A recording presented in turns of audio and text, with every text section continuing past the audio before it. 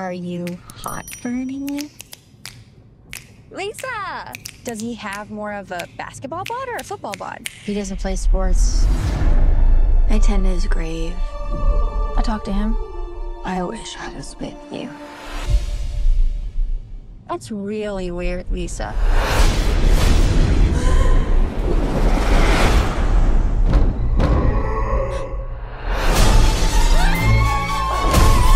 You hear that?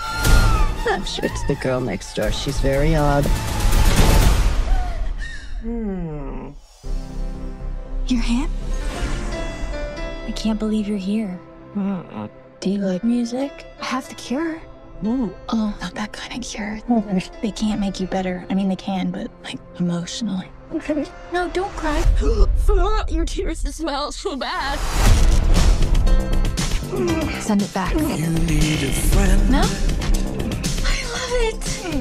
Not really my style. When you're in doubt. Lisa looks good. She could probably even do pageants if she had congeniality. Your daughter is a little psycho. I opened my glorious home to an ungrateful little. Needs.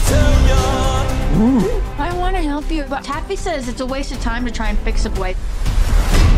It's better just accept a guy's flaws. Oh, That's so cute. Gotta tell ya. I have an idea. Hmm. There are bad people out there. Come on, Lisa. It'll feel good. That hand is gonna do terrible things. I'm sorry, but I'm just thinking of the right words to say. You are being admitted inpatient. Lockdown.